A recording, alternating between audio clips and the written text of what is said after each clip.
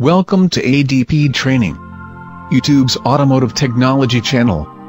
In this channel, you'll learn all kinds of auto repair secrets, how your automobile works, and how to diagnose it.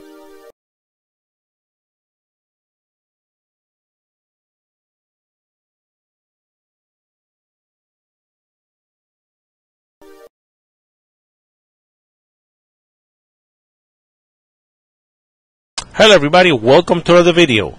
In today's video we are going to talk about um, amplitude measurements. Now as you can see on screen, uh, this is what the signal generator looks like. Our frequency down here, as you can see, it's uh, 700 hertz, 706 hertz.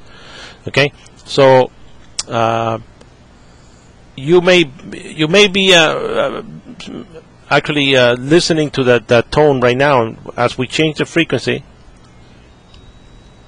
So this is like 2000 hertz, 900, 945 hertz. Okay, that's the frequency. All right. Now, this is a signal, a sine wave signal.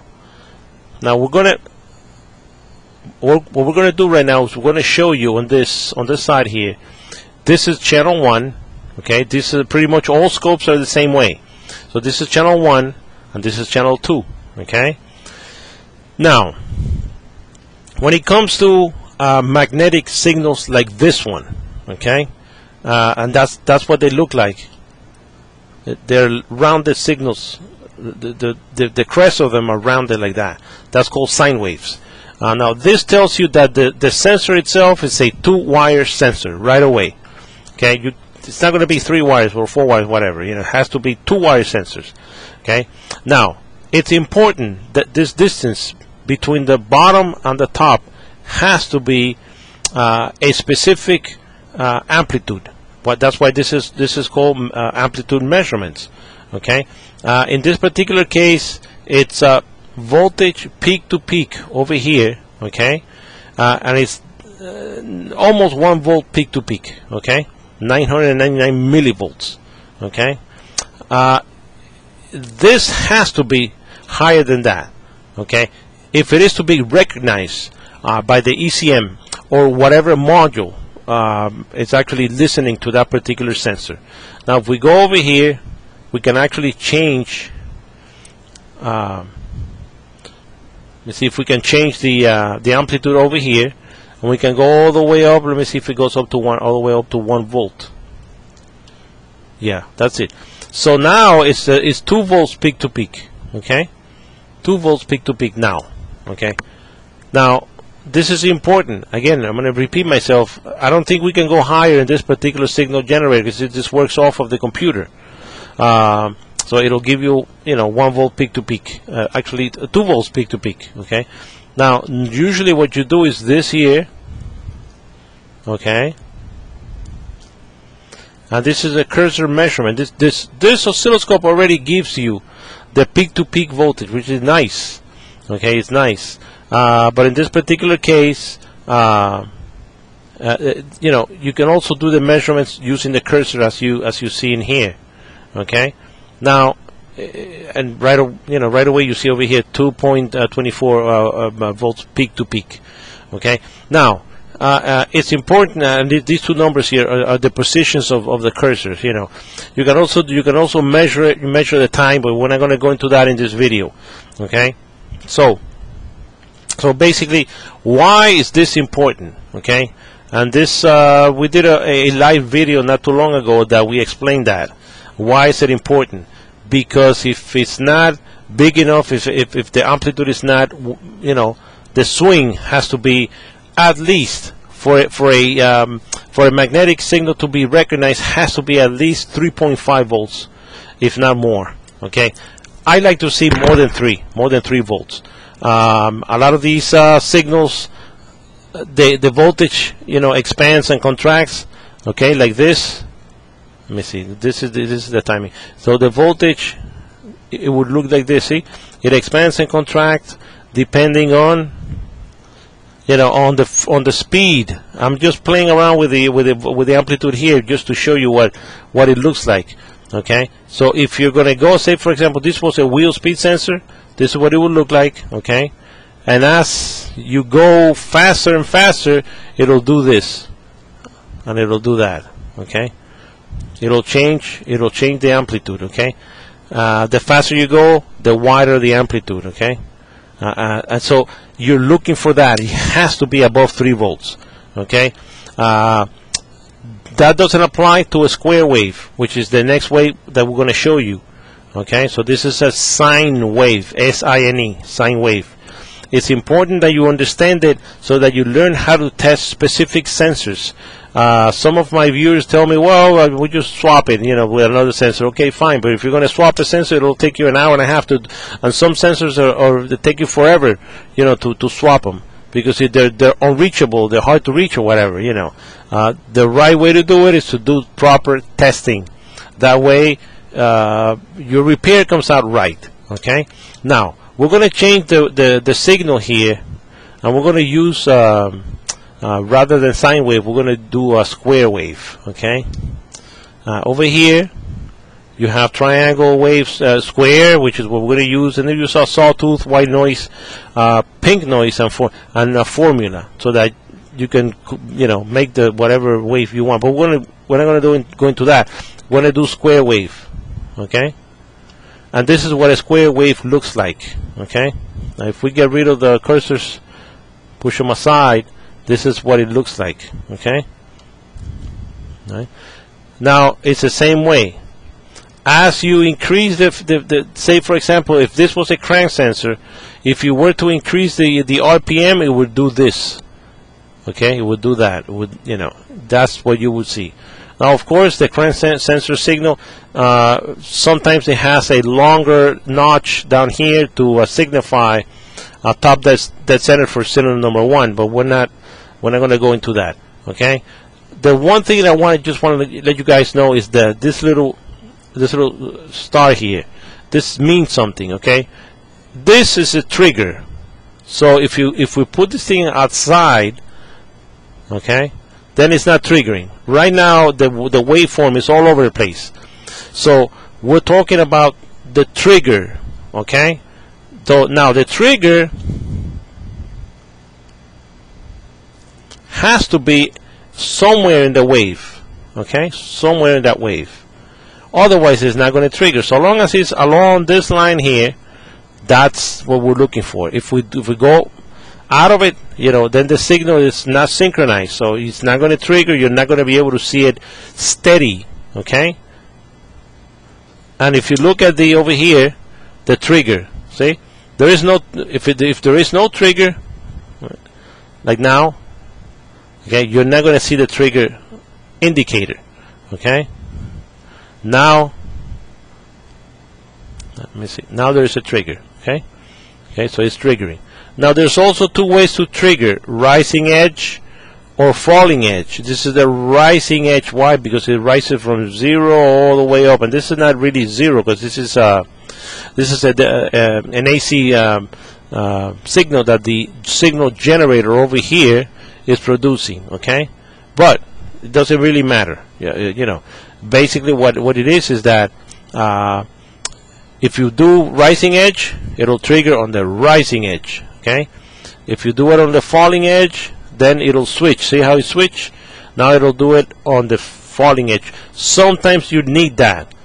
For example if you need to correlate the car is stalling when something happens okay and as soon as it happens the, the vehicle stalls we're talking about really complicated diagnostics uh, where you look at the crank sensor, cam sensor, and another maybe a couple more signals, you know. Uh, and so basically you're looking at when is this happening. Uh, sometimes it's just when uh, uh, shift solenoid on the transmission uh, turns on.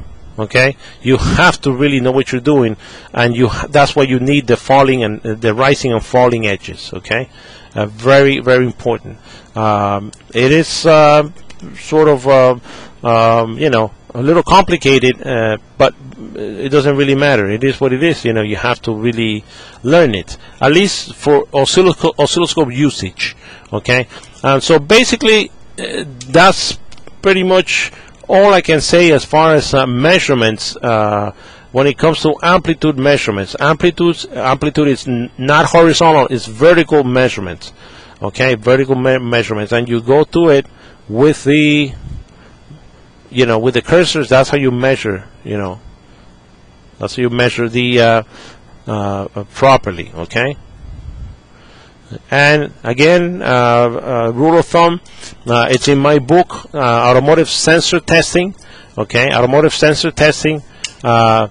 you can look at it, buy it from my website or from Amazon as a download or as a printed format, if whatever you want.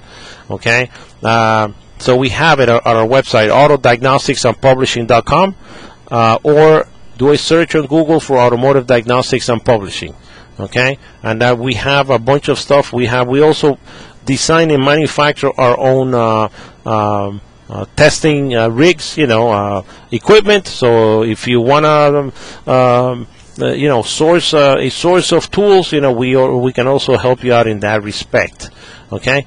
So anyhow going back to this thing here the amplitude or the way you measure amplitude is also important uh, when it comes to uh, uh PWM, uh, pulse width modulation. Okay, almost everything in the car is controlled by PWM. Okay, now PWM in this particular case, this is a 50% duty cycle PWM, right? So let's see if we could change it. Let's see if we could go 10% duty cycle. Okay. Now something changed because I heard it change. This is a 10% duty cycle. Why? Why it a 10%? We're not going to go too much into duty cycles here, uh, but we're, we're going to just, you know, touch upon it on duty cycles. Okay, so why is it 10% duty cycle?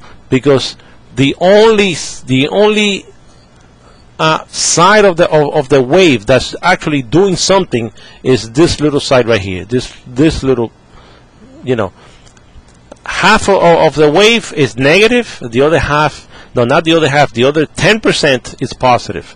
That's what it means, 10% duty cycle. Duty cycle is always expressed in uh, percentages. Now, we're going to leave it at that because we don't want to confuse you too much. Uh, suffice it to say that uh, this is, you know, uh, this is what uh, we mean by amplitude uh, modulation and amplitude measurements.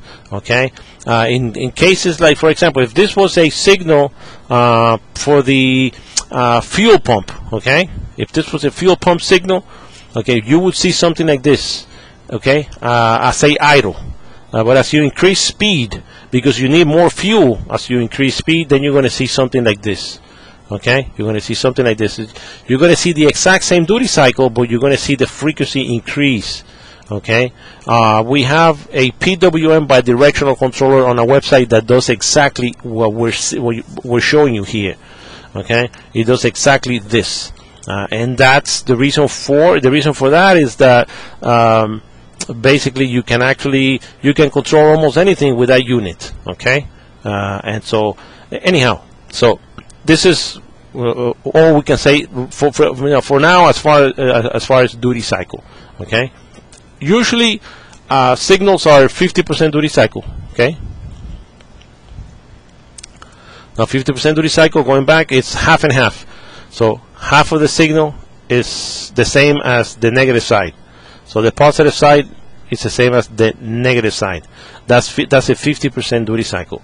Anyhow, so that's all there is for now as far as uh, uh, amplitude measurements and a little bit about duty cycle that we touched upon because it has to do with that.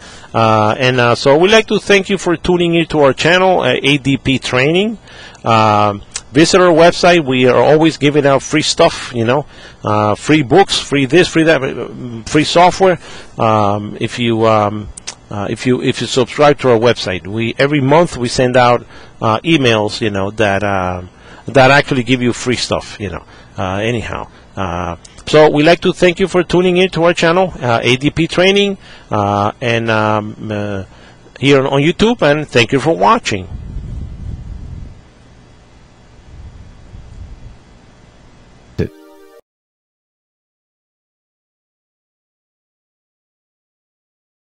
Hello everybody and welcome to another video.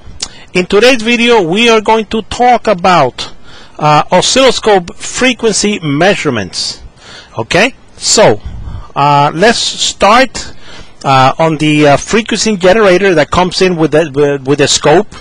We're gonna click channel 2 okay? And channel 2 is going to be outputted to channel 1 of the scope. So you can see it over here. See?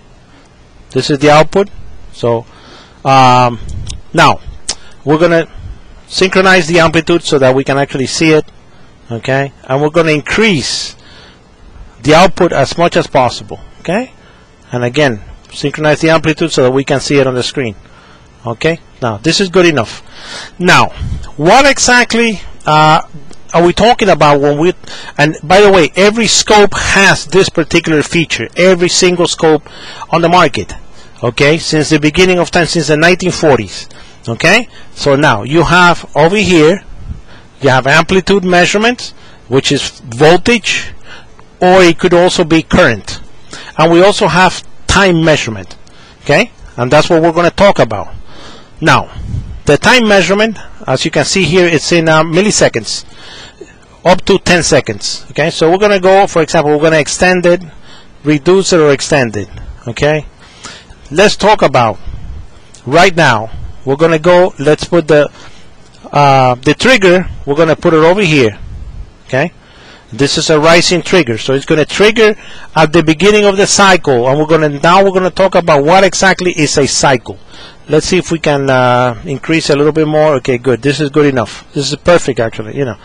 Now what exactly it's a frequency measurement. Okay this is a zero line okay? As you can see this is an AC signal.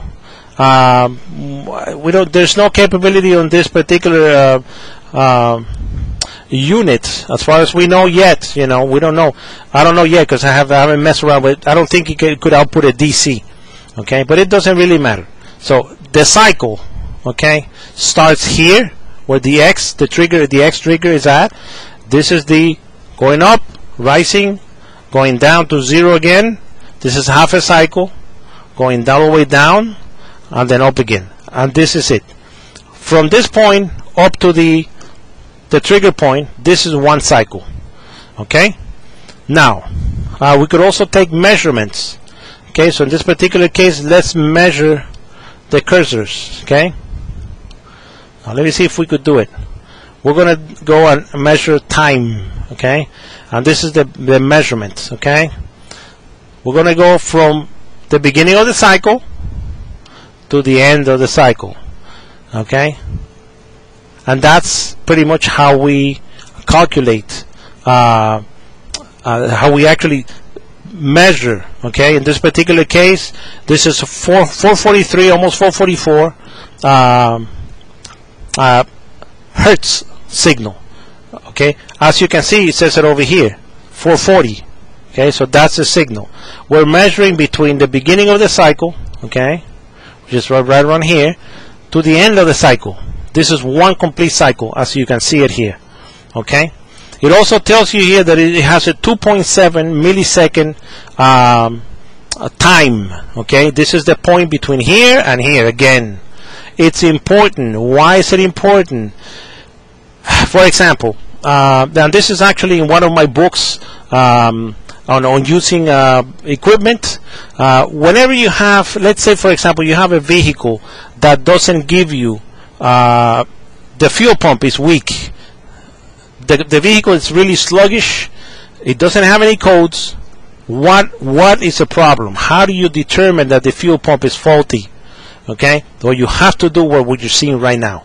Okay, you have to take somehow. Okay, otherwise you'll never know. You're you're going to replace the you're going to place 50% of the parts and you're going to think it's a mass airflow is this and that is not okay you're going to replace a whole bunch of parts and you're not going to know it's a fuel pump and this this is it's the same for almost any like motor or, or what have you you know so in this particular case by measuring this time here between here and here okay you would know okay uh, if it's a fuel pump or not okay so in between the cursors, these are cursors, okay? Uh, basically, you by determining the, the, the time Okay, then you have to do a, whole bunch of calculations, which is not too hard. You simply have to uh, multiply by 60 because it's 60 seconds in, in a minute, and then if you want to go the, the the fuel flow per hour, then you have to multiply by 60 again, uh, which is 60 minutes uh, uh, in an hour. Okay, uh, so uh, basically that's how you go about you know doing this this thing here. Okay, it's important that you understand how to measure uh, the frequency and the time of a, of a specific uh, waveform. Okay. Now let's switch, for example, into square wave. Okay. I'm going to switch into a square wave. Uh, as you can see, the, the the tone changed because it's a square wave. It's a little different. Okay. Now we're going to go. It's the same deal. Uh, the, really, the frequency hasn't changed. What changes the shape uh, of the waveform, which is a square wave. You know, everything else is the same. You still the cycle starts here, up, down, and then up again to this halfway point in between the cursors. You, you know, right, right around, right around here. Okay, that is the complete cycle. Whether it's a square wave, whether it's a it's a sine wave, which is this one here. Okay, or it could be a triangle wave. You know, this is the same thing. It's the same. That's a cycle. That's that's when we talk about the frequency measurement or the time uh, in every um, oscilloscope. That's how it's called the time. Okay. There's also a sawtooth. This is a sawtooth waveform. Okay. And those are basically those are the four types of waveform. Okay. Now we go back to the square wave and the sine wave are the two ones that, are used in automotive for automotive purposes. Okay. Now, why is this important? For example, well, if we're going to go into uh, fuel pumps, going back to the same deal, you know, we have, and not only fuel pumps. For example, this particular measurement is also good for um, if we're going to go into the uh, the CAN network. For example, that's another one. Okay, let's just let me switch it into a sine wave because it sounds a little better. Okay, it's going to drive me crazy. All right, so let's say we're going to go into a sine wave. Okay, uh, when we go into a sine wave, uh, it's going to be a square wave like this one. Okay, and you're going to see something like this. Okay, you're going to see something like this. All right. Now, you really have to know what you're doing in order to uh, be able to uh, uh, graph each packet on the uh, uh, uh, information packet on the on an oscilloscope. Okay. Now, let me turn off the you know the the cursors, and so uh, basically what you have to do it's let's say for example we're going to go into a, a 10 cycle. Okay, this is what you would see, for example, in a CAN network not exactly like this, but more or less. You know, you're going to see something like this, and that's that's how each one of these uh, uh, spikes is going to be like a one or a zero. That's how that's how the the vehicle communicates with the rest of the uh, uh, of the network. You know, so uh, we could also do. Let's see if it'll do it here. We could do a sweep. Okay. And basically what it does is it, it, it increases the frequency from 0 to 440. See?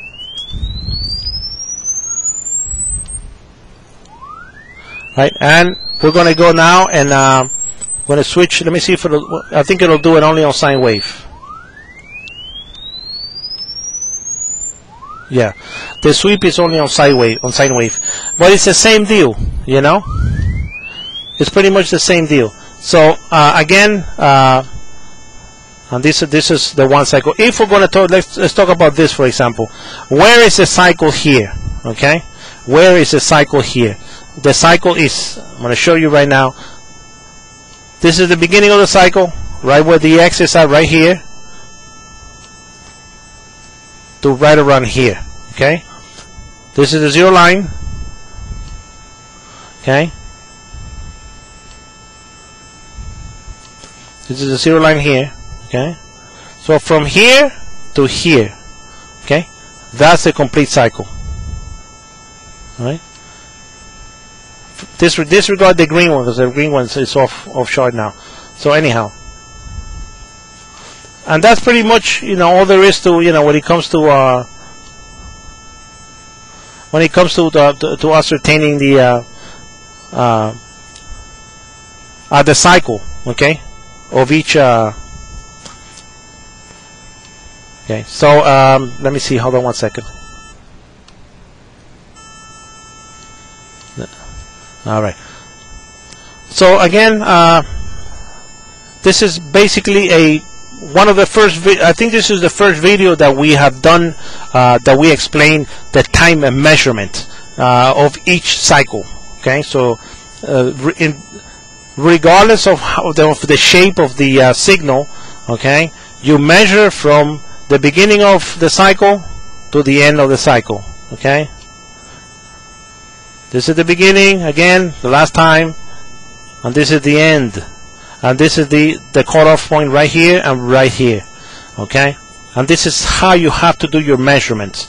In this particular case it's 2.264 milliseconds and 441 hertz uh, which is right that's the way you know that way it's supposed to be uh, anyhow um, this is it for a frequency measurement It's very simple, very easy, very straightforward. Uh, as we progress in this particular course on using oscilloscope, we're going to explain how to use this measurement better to diagnose specific issues. Okay, so we'd like to thank you for tuning in to our channel ADP Training uh, here on uh, on YouTube. Uh, we also have our website auto autodiagnosticsandpublishing.com uh, you can do a search for automotive diagnostics and publishing. Uh, give us a uh, uh, post comments as much as you can. It is important that you comment, otherwise, I'm not going to see a reason to do uh, to do this this uh, series anymore. so if you can post comments as much as possible, ask questions, try and participate. Okay, we also have on our um, on our channel you can actually sponsor our channel like uh, for a few bucks a month which is really helps out because we try to keep this channel free okay? So I appreciate it. All the comments uh, thumbs up. If you like the channel if you don't like it then thumbs down too because that, that means that you're watching and you're participating. You don't have to like it you know. Anyhow uh, thank you for tuning in and thank you for watching hello everybody and welcome to another video Today we are going to do a video on analyzing the cam and crank sensor signal. So we're going to do an analysis of these uh, waveforms. Now on, uh, on screen as you can see this is a typical uh, cam and crank signal taken from my library. Now uh, this particular signal was um, this is this is I forgot I really don't know which which card this belongs to but this is uh, it's a good signal uh, now, I want you to pay attention to the correlation between cam and crank, and I'm going to show you a few. This is an older vehicle, that, that much I know. Uh, so, as you can see, uh, and this is a similar vehicle, uh, the bottom uh, waveform it's the, the cam sensor, and the upper waveform is the crank sensor. We're going to do, we actually recorded a, uh, a complete waveform analysis, uh, actually a waveform on the scope, and we're going to play that for you towards uh, uh, in, in, in, a little bit towards the uh, in the middle of the of, of the uh, uh, of the video. Okay, so again, this is the relationship between cam and crank. The upper one is the crank. The lower the lower one is the the cam sensor. Now, on the next shot that we have, we're going to show you how to use these two uh, signals to know or to correlate them uh, and to know whether you have a, uh, a jumped timing belt or a stretched timing belt, timing chain, and so on and so forth. Now, as you can see on screen, we're going to use the uh, original, um, you know, the software that we've always been using. Uh, now, pay attention to these two pulses at the bottom. This, this, is, this is the cam. Understand one thing for every revolution of the cam, uh, for it's half a revolution of the crank. So the crank turns twice, okay, for per every uh, cam revolution. So the cam turns twice, the crank turns once, okay. This is important, okay, because if you have a jumped or a stretched timing belt, you're gonna know right away, and I'll, I'll show you how. Uh, uh later on in the video. Now, as you can see, the top signal belongs to a uh, crank sensor, uh, and, and, it's always like that. It's always, uh, you know, you're going to have a bunch of pulses on the crank signal and a few pulses on the cam signal, uh, because this, the cam signal, all it wants to do is tell the ECM number one top dead center from uh, from number one top dead center. Now this is this is I mean this is why I, I actually show I'm showing you this. This two pulses of the cam represents a complete crank revolution. Okay, and this is important uh, because of, of the fact that you have to know how many pulses you're going to get of the crank per cam uh, pulse okay? And that's going to determine uh, for many reasons and in between the cursors here that you see uh, this is a complete uh, again a complete crankshaft revolution. Okay? Now uh, if the timing chain or the timing belt is stretched and this is the purpose really of this of this video uh, to allow you to uh, determine if you have a stretched timing belt or timing chain without doing major disassembly by just looking at the cam and crank. Now, uh, you, you, don't know that right now, but I want to show you how uh, in a little bit. Uh, but anyhow, let, let me just uh, uh, explain to you the relationship of, of cam and crank. Now, this is one pulse uh, on screen. Per every per, per pulse, you're going to see a couple of pulses on, on the crank. Now remember that the crank sensor has a reluctor wheel uh, with a bunch of little teeth. Uh, this is called the reluctor. These the little teeth are, are, are called as again. This reluctor has a correlation. You're supposed to have X amount, and, and I can not tell you how many because it depends on the year, make, and model, uh, and the engine size of whatever you're, you're fixing, you're, you're, diagnosing. It doesn't really matter. You have to have yourself uh, a uh, a signal, uh, a good signal library. This is a must. Okay. Uh, if not, you look it up online. Now, these days, uh, 20 years ago, when I started doing this, you know, there was nothing online. Uh, even Google wasn't that that great back then. so again, we're looking at half a crank um, uh, revolution, uh, one cam revolution, and we just changed it. Now, you, you what you do is you count the number, two things that you're supposed to do. Either count the number of cycles uh, that you see on the crank, okay? Or the number of cycles that you see on the cam, in between the cam pulse, okay? And again, I want to show you later on, I have actually have two uh, uh, shots that I did, uh, and I'm actually going to show you how to do that. As you can see on screen, uh, what, what you're looking at is a, a snapshot, a screenshot of the uh, cam and crank uh, correlation. And right now I'm counting five uh, crank pulses per cam pulse. This is one. This is one way to do it. Okay. Now this is supposed to be not supposed to be. This is a recorded uh, waveform from a good known cam and crank. This is a running engine. Uh, there was nothing wrong with it. Okay. And I think I believe this is an older vehicle too. Uh, when I say older, early 2000s. You know.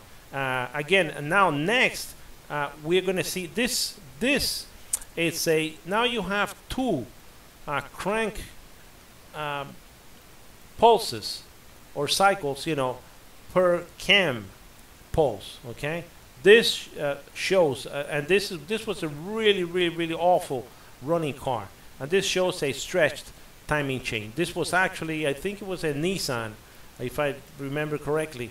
This is a definitely a stretch timing chain. Sure enough, we pulled that out and it was a disaster. Even the tensioner was, uh, all the guys were, were worn out, horrible. Uh, so, and this is so this is an easy way to do it. Again, uh, you can also count the number of pulses, like we showed you before. Uh, you what you do is you go between, you go two crank, two cam revolutions, okay, and then you count the number of pulses on the crank, okay, and that also tells you but then you, you have to have a good known waveform. Once you, you get used to uh, um, you know doing this stuff, you're gonna be uh, you're, you're gonna know more or less. You can also look at the um, crank uh, reluctor, and right away you count the number of, of, of teeth, you know, on the reluctor, and right away you know because these pulses on the crank sensor are this is the exact number of teeth that, that you have on the on the crank okay? Now it it's a little bit of work but it's a lot it's a lot easier it's a lot better than doing the disassembly and, and tearing down the engine uh, just to find out that there's nothing wrong with the cam and your issue is something else. Okay? So again this is uh, another one of those uh, things that you can do with the oscilloscope and which saves a lot of time.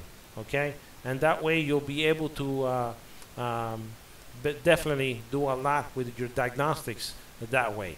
Uh, so uh, anyhow this is uh, has been uh, this is this series that we're, we're, running now it's a cam oscilloscope. Um, right now we're doing the cam and crank correlation signal analysis but this is an oscilloscope series that we're doing. Uh, again, uh, on screen, you, you you know we show you exactly what we show you before. Uh, uh, the correlation, how to tell uh, tell whether you have a stretch timing chain. We'd like to thank you for tuning into our videos on our channel ADP Training. Uh, do a search on Google for Automotive Diagnostics and Publishing. Subscribe to our website. We're always putting out free stuff. Okay, and again, tomorrow we're, we're, we're doing another another campaign, and I think we're giving out a, a free software. Okay, so thank you for tuning into our, to our channel and thank you for watching. This channel is for doing it. Hello everybody and welcome to another video. In today's video we are going to uh, talk about uh, glitch capture of the cam and crank sensor signal using the oscilloscope. And as you can see on screen, this is a three-wire, the, the Hall effect sensor, uh, which are 98% of crank sensor or Hall effect sensor, produces a square wave as you can see on screen. Maximum of 5 volts, normally 95%, 98% of the time, and ground. Okay, and as you can see, this reluctor, the, the wheel that you see that uh, that says reluctor, that's the that is the crank uh, um, wheel, or it could also be a wheel speed sensor on very few cases, or the cam sensor. Uh, it's just a tooth wheel that actually introduces the signal. Uh, you do uh, you're supposed to do tests, and we're going to show you how to do these tests at the end of the video. One side of the sensor usually is connected to either 12 volts or, or 5 volts. The other side is connected to ground, and then there's the signal voltage, the one that you see in the middle. Uh, it is the, the job of this sensor to toggle this signal voltage between ground and 5 volts. They're usually 95% of the time or more 5 volts. Okay, and as you can see on screen, that was the, uh, uh, we're going to show you how to test, uh you know, the signal uh, using the, the scope uh, next. but anyhow, it's very, it's a very, it's, it's a very straightforward sensor. Okay, um, it has an internal transistor. Uh, and it, the, the, transistor is the one that toggles the, sig- the 5 volt at the signal line between 5 volt and ground. And next we're going to see uh, exactly what it looks like on the oscilloscope. Now, as you can see on the scope, we have other videos uh, uh, on this channel that actually deal with using this particular scope. Okay, uh, the scope itself, it's uh, we actually offer the scope. Uh, all you have all you have to do is send us an email and ask us for the scope. Anyhow, so this is the the signal that you saw before. Uh, briefly on the introduction of the video, it is a square wave signal okay and we're going to touch upon uh, upon two uh, aspects of this signal. And at the end uh, towards the end of the video we're going to show you how to actually do the manual testing that you're going to have to see. Now we're going to use the cursors as you can see on screen. Uh, these cursors the bottom one is a zero volt okay? The upper which is the yellow one. The blue one on the top is the maximum which is a 5 volt okay? That's what these two lines are going to signify ground and 5 volts. Okay, and keep that in mind. Okay, we're, going to mess around with the signal a little bit. Uh, this is a simulated signal, but it is an actual signal produced uh, by a, uh, a, signal simulator. Uh, anyhow, uh, so we are showing you right now about one, two, three and a half cycles of the waveform. Okay, these cycles are, of course, depending on the speed of the engine or the speed of the wheel speed uh, uh, si signal, how fast the wheels are turning, or the cam sensor. Uh, so this this this, this this sensor is a triple or, or, even more so. You know, it's actually used on a, on a, bunch of. It's also used inside the transmission as an input speed sensor, uh, output speed sensor, vehicle speed sensor, and so on and so forth. Anyhow, so going back to the signal itself. Uh, the first thing that we have to we're going to do now is we're going to expand the signal a little bit as you can see on screen and we're going to show you uh, this is about two cycles okay? And we're going to move the the uh, the the, uh, the trigger line okay? So that it actually it, it, shows better on screen pretty much. Okay so anyhow uh, right now uh, the bottom line is the zero volt line as we explained before. The upper one is the maximum which is usually 5 volts okay? Uh, all you got to do is go to your uh, uh, sensor itself and you're going to know if it's a 5 volt reference or not. 95% of the time it's going to be 5 volt reference. Now this that what you can as you can see on screen this is an issue that you that I want you to learn how to test okay? The upper part of the uh, of the wave not reaching 5 volts okay? Not reaching 5 volts there's a little gap in there. Okay, this gap cannot be more than 150 milli, uh, millivolts or so. Okay, and if it's more than 200 millivolts, is too much. 0.2 volts is just too much. It starts creating problems. Okay, so try and stay whenever you talk about signals within 100 millivolts. That's a rule of thumb. Okay, now again, uh, you want to see, and in this particular case, we're simulating an issue with this signal. This is exactly what happens. What could possibly be the problem here? Could it be the sensor? Could it be, could it be the wiring? Uh, by analyzing this signal, uh, there's a 90%, 80, 85% chance that there's a, an issue with the wire, okay? Because it's not reaching 5 volts. It could also be the sensor, but 9 times out of 10 it's not, okay? Uh, again, you know, it's uh, you, all you got to do is do your testing. Okay, if you if you go to the sensor, you disconnect the sensor, you measure the five volts in there, and it's and it's not five volts, and you know uh, it's the wire without a shadow of a doubt. Okay, now uh, we are actually now going to show you. Uh, we're going to do that next.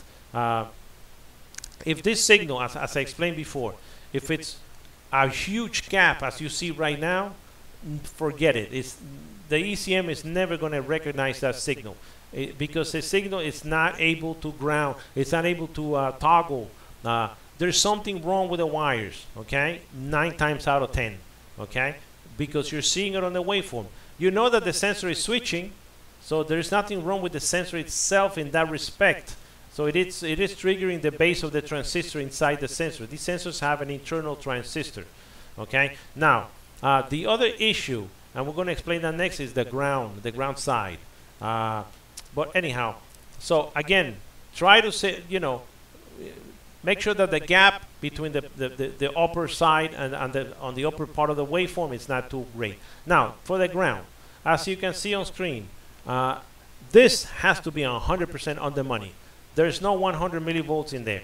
You cannot forget it. You know, it, it has to be grounded properly. Okay, maybe 10 or 20 millivolts is fine, uh, but for signals, every everybody has to be grounded. Every, everybody has to be on the same. You know, it's it's not like Republicans and Democrats. No, this is not like that. This is ground. The ground. Everybody has to be one or the other, but everybody has to be the same. Anyhow, so uh, going back to the uh, to, to the ground side, as you can see, there is also a gap here. We're simulating a gap, okay, between the ground and the lower part of the of the uh, of the signal, okay. Of the this is a square wave signal, okay. In this particular case, this thing has to be right on the money. We're going to expand in a little bit. We're going to expand the signal, um, uh, the amplitude, so that as we that we can explain to you a little bit better, you know, how this, uh, what you have to look for. But right away, as soon as you see this, okay, there's something wrong, and there's something wrong with the ground, not necessarily the signal itself. This sensor is not able to ground the signal 100% why because the ground wire and you have to test your ground wires.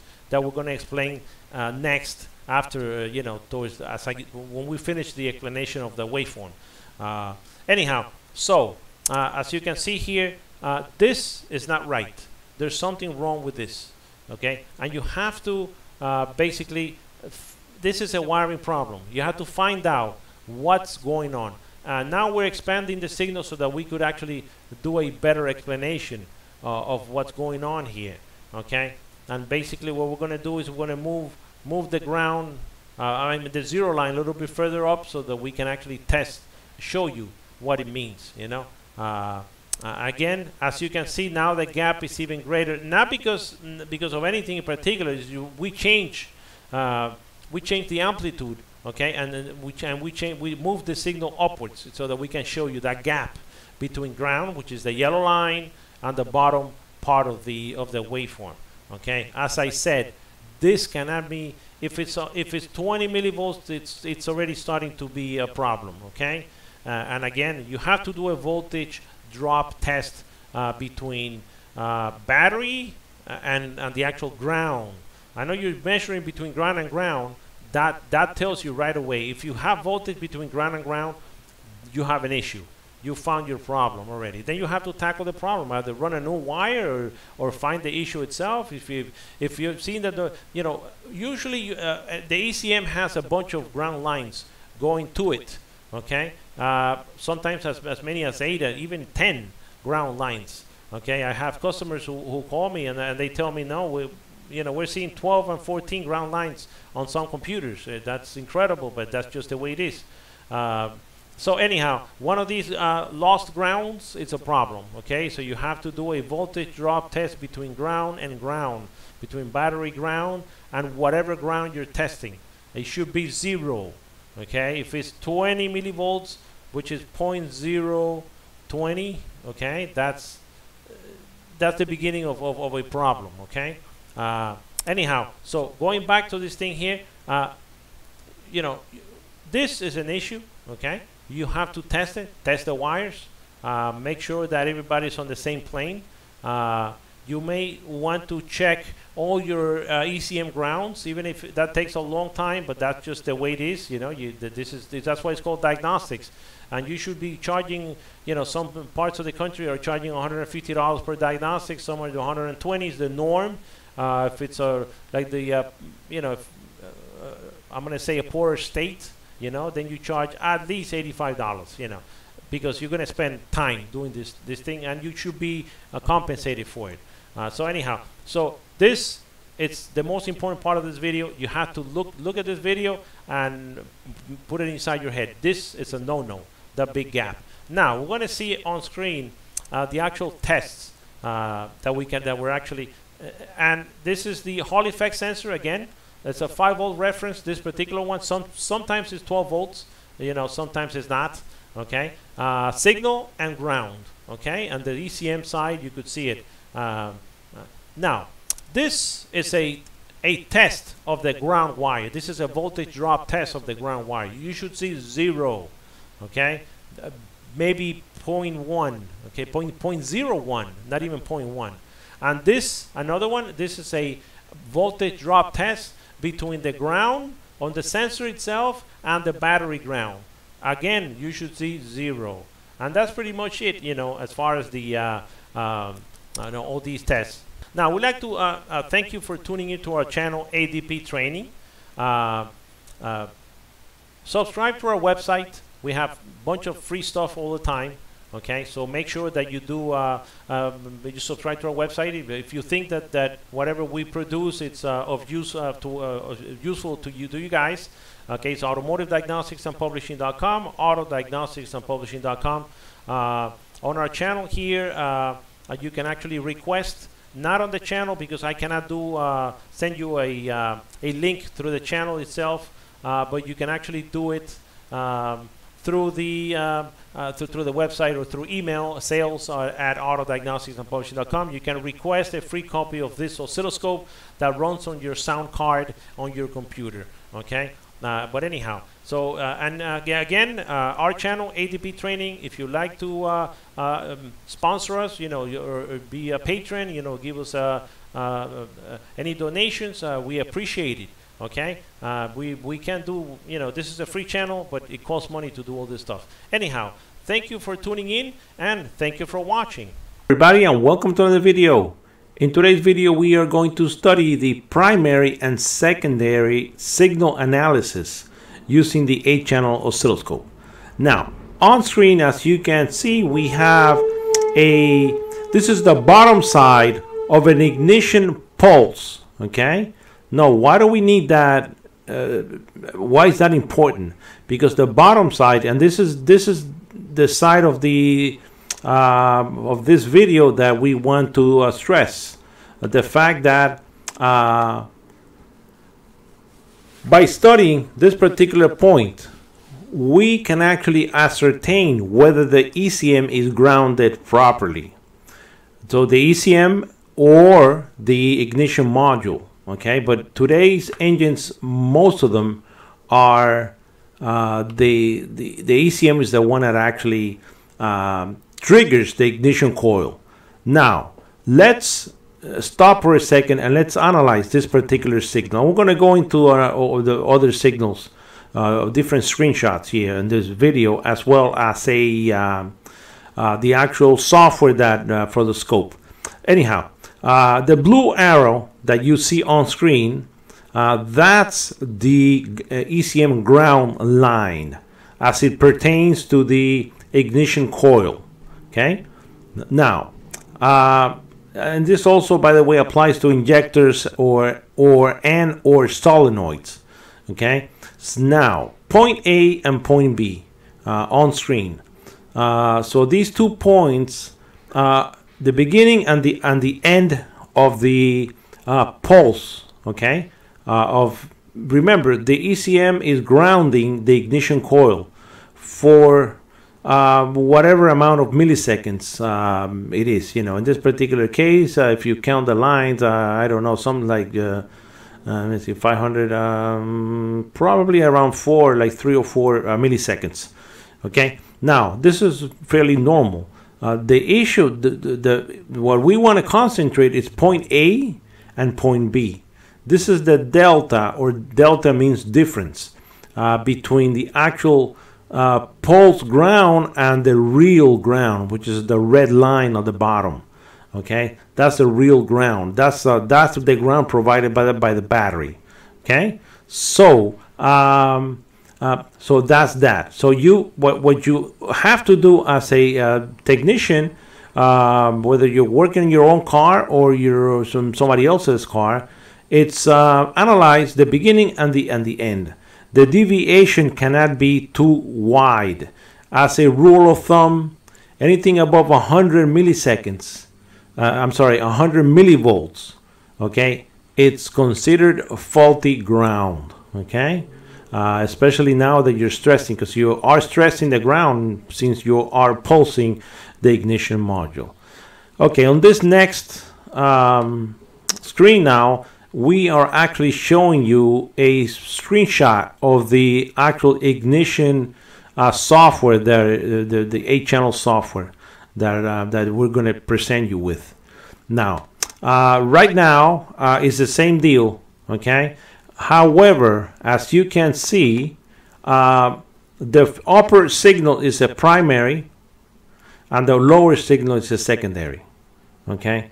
Now, uh, it's important because what what you want to ascertain is the exact this is the exact same spot as before okay the other signal but this is actually we're showing you the entire cycle here uh, the, the entire uh, measurement of the pulse okay uh, how the ECM grounds the ignition coil and then the spark uh, which is the, the side towards the end uh, so anyhow, we have other videos that actually uh, show you how to interpret the entire ignition spark waveform. But anyhow, but we want to concentrate on this particular area, which is the ground. Now, as you can see, the secondary, it's very hard to distinguish a ground issue. Uh, it's more seen, and by the way, this is normal. Uh, this this particular signal is a normal signal. It's a, it's a good coil, in other words. But you can actually uh, see issues with the uh, primary first, okay, uh, rather than, than studying the secondary. And then again, this is a much more uh, analyzed ignition uh, again, primary on the top, secondary on the bottom, okay. this particular section that you see there, it says ignition coil turn on. This is the on time, okay? This is the on time for the ignition coil. And then in light green, it's the end and the, uh, uh, the start and the end of the spark event, okay? Uh, and this, basically, you can't really tell much from the spark uh, as far as the, the, whether the ground is good or not. You're, you're not going to see a, a, big spark in there. This that line will be totally skewed um, if you had a ground issue because the, if if you can ground the coil properly, um, so basically you know you are that you're not going to have a good spark. Uh, that's that's pretty much it. You know. Uh, so again, uh, now going back to the uh, uh, this is the actual and let's see let's plot the the primary. So this is the actual ignition uh, the oscilloscope software. This is in real time okay? We're not graphing the bottom two signals are just the two channels hanging uh, because we uh, basically are not connected to a car.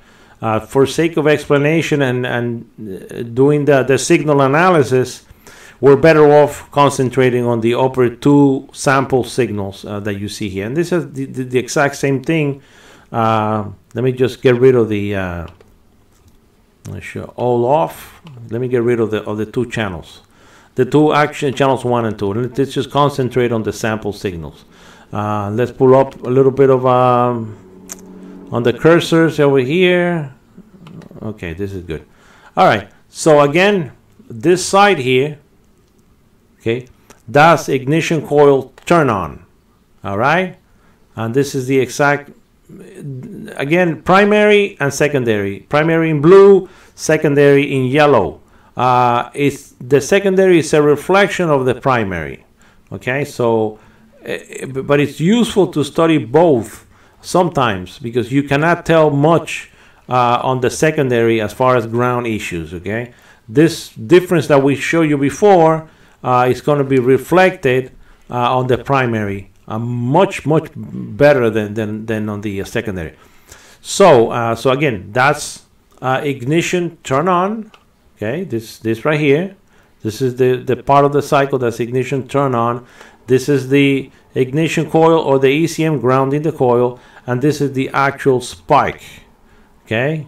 It's important let me just do a little bit better so that you can uh, it's important that you understand that because this is what's going to give you the spark.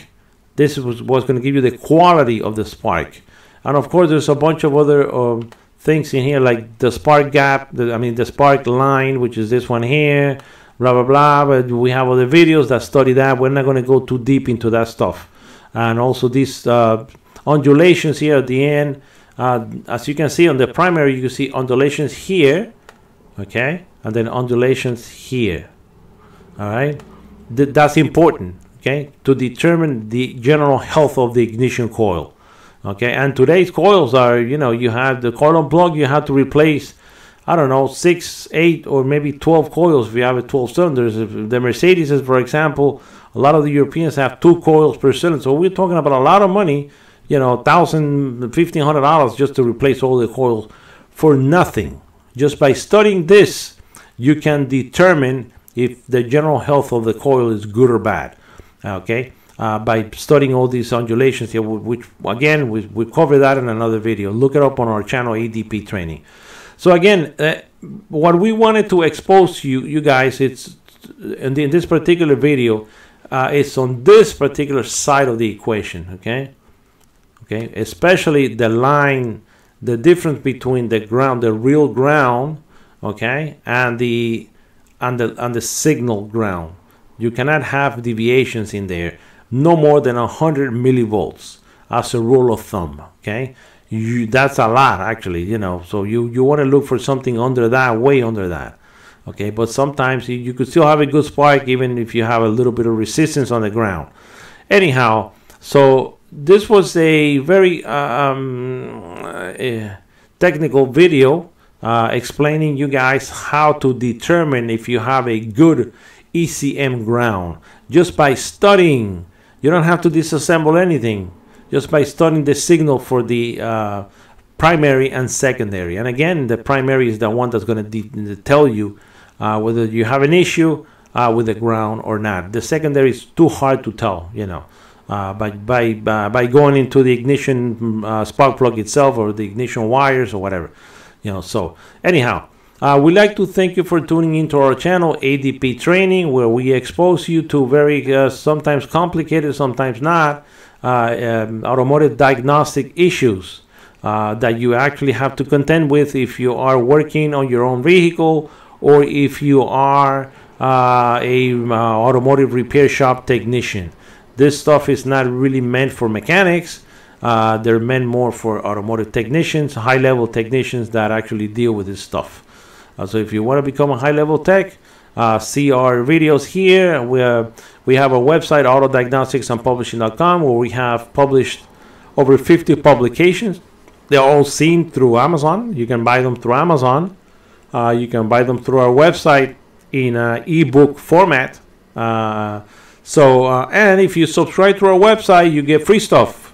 Sometimes these books we get we give them out uh, like chapters, whole chapters for free. Uh, so we appreciate you tuning into our channel, ADP Training, and thank you for watching. Hi, and welcome to another video. In today's video, we are going to talk about the ignition primary and crankshaft sensor correlation. Uh, and as you can see on screen, um, we're showing you uh, the 8-channel oscilloscope that we carry on our website. And these two waveforms that you see are sample waveforms that are provided uh, by the, uh, the software, the oscilloscope software uh, that we have.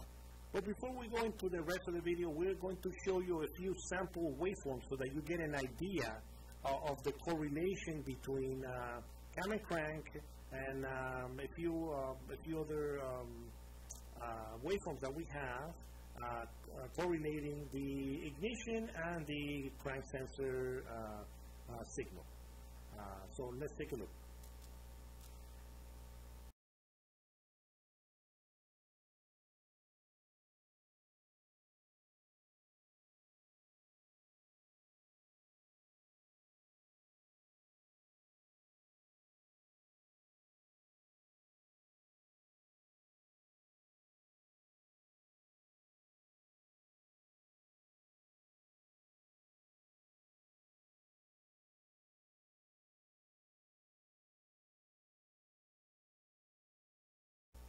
Okay, back to the video.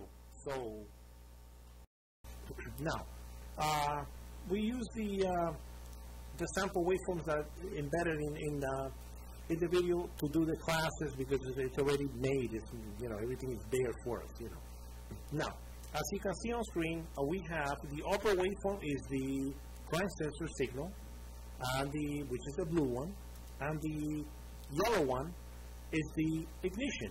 As you, if you've ever seen an ignition signal, that's what they look like.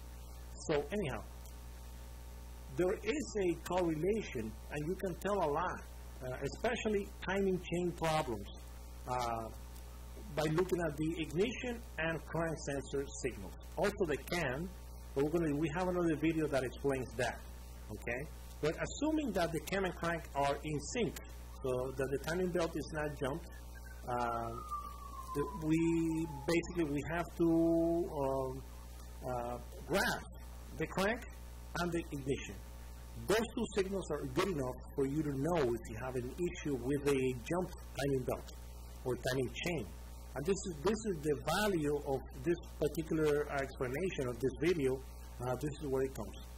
now,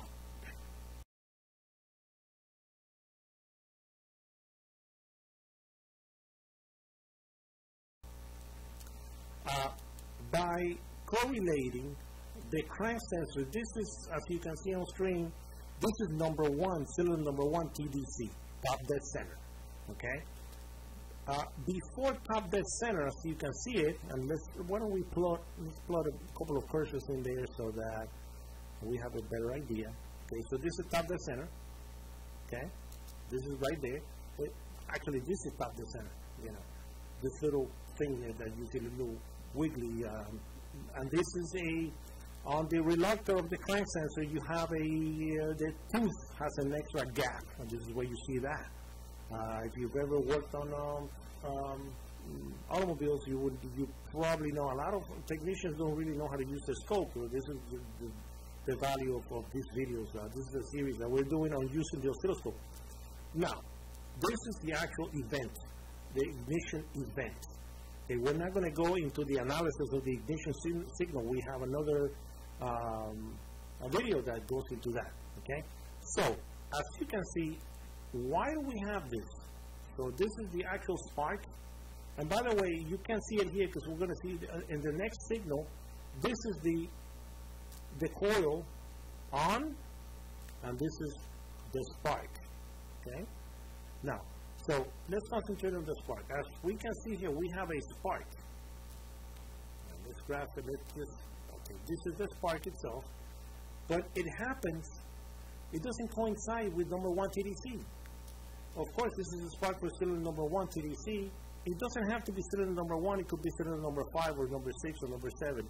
Uh, not all engines are correlating to cylinder number one, but most of them do. Okay, so let's assume that this one does, uh, because this is uh, 90% of, of automobiles do, uh, they're correlating to cylinder number one, TDC. now, uh, so this ignition event happens a few degrees before top dead center.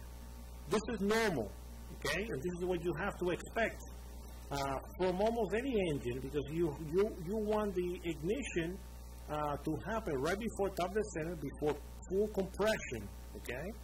And then uh, when that happens, you get an even burn, okay? This particular waveform may happen a little bit before that, but not maybe a, another notch before, like over here, right? Uh, it could happen over there, or in this particular case, it happens right there, right before top dead center, maybe two uh, notches before top dead center, okay? Whatever amount of degrees that correlates to. So only two teeth before top dead center of the crank. It has to be that way because it the ignition has to happen before top dead center so that you could you could get an even combustion. Okay. Uh, now, of course, the uh, ECM is going to move this crank signal uh, before or even after a little bit, depending on the load, whether you're going uphill or you're towing a car, you're accelerating or what have you. Okay, but basically, this is uh, this is the correlation, you know, that you should get. Okay, um, now uh, by studying the ignition and the number one TDC, right away you're going to know if you have a jump timing belt. If this particular signal happens over here, okay, this is way too much. Or if it happens over here, way too much. Without you even checking compression or anything remotely, uh, you don't have to do just by plotting, um, uh, tapping into, into the uh, ignition, uh, primary or secondary, and to the crank sensor signal wire, you would know right away if you have a jump timing belt or timing chain. Okay, uh, that's the value of this particular test. Okay, again, if it happens here, way too before top dead center, or here, way after top, top dead center, this is too much. As you can see, this so again, uh, you're, you're checking a car at idle. So at idle, uh, no load, this is what you have to see. Okay? If you have an issue with the timing belt jump, you're not going to see uh, the ignition event. Okay? This one here, you're not going to see it uh, at the right spot. So it's got to be between here, actually something like, like this. Let me just give you an idea. Something like this. That's a good uh, range where this particular signal could move back and forth. Okay? Uh, depending on the load, uh, but usually you're going to get it at idle, you're going to get this. Before top dead center, a few degrees before top dead center, you're going to get the spark, okay? And then that way, it, uh, it calls for e- even combustion of the, uh, of the, of the, of the burn. Uh, so again, uh, the value of this particular um, test is that you can tell right away if you have a if you have a jump timing belt. Uh, the other possibility is you have to do disassembly, major disassembly, just to, you know, rather than just to see it, okay? And it may not be the timing chain or the timing belt, it could be something else, but just by studying, okay? Two signals, ignition and crank sensor. That's all you need, okay? That's, that's it. So again, uh, it's a, uh, it's a simple test uh, just to go through it that tells you a lot without doing major disassembly, okay? So, and that's the idea. The faster you do your diagnostics, the faster, the more profitable your business is going to be. Or if you're working your, on your own car, uh, the better off you're going to be because you're going to go 100% for sure, okay? That you have a jump belt or not. Uh, you can then start disassembling and you can definitely quote your customer uh, or if it's your own car, you can definitely do, you do the work. You know that the, the timing belt has jumped, okay? Uh, and basically, so that's uh, that's the value of this particular. It, it is very, uh, um, uh, very straightforward and very fast. You know. Now, um, and, and of course, you know, it's it, it always helps if you have a uh, waveform database, which you you can. We have a waveform database on our website, autodiagnosticsandpublishing.com, that you can purchase. It's very inexpensive. It's like under a hundred dollars, and you can buy. We have uh, a uh, couple hundred uh, signals in there that you can draw from. You know, if you can fix a car uh, with a database, then it's worth the money. Okay. Again, we'd like to thank you for tuning into our channel ADP Training, uh, where we expose you to everything, anything that's uh, related to automotive diagnostics. Okay, uh, and we really appreciate it if you give us a donation. Um, on the description, uh, there is a uh, link to uh, PayPal, or you can actually do donate right through uh, YouTube. You know, uh, there's a little dollar sign right below the screen, or you could become a paid member uh, for a couple of bucks. You know, five bucks, ten bucks, you know, a month, and it really helps us out because you know this stuff is very expensive to produce. Okay, so we appreciate you for tuning, tuning into our channel, and thank you for watching Hi and welcome to another video. In today's video we are going to talk about the ignition um, waveform uh, voltage and current analysis. Uh, so on screen here as uh, you can see we are going to go into the uh, our 8, 8 channel oscilloscope that we carry on our website and we're going to go into um, ignition uh, primary uh, voltage and current. And as you can see on screen, it uh, the scope sets itself up. We're not going to go, uh, we're not hooked up to a car, but we are getting the following. These two signals are sample signal signals that the scope um, uh, presents you with. They, it has a database in, internally uh, of the software, you know, for the scope that you whereby you can actually uh, you can view all these sample signals. Now, uh, before we go into the uh, sample signal analysis, and this is what this video is about, it's about analyzing signals, okay, interpreting signals once you have the scope. Uh, we're going to go into the following um, uh, into the following um, uh, signals uh, that we have from our waveform database software that we carry also on our website, autodiagnosticsandpublishing.com.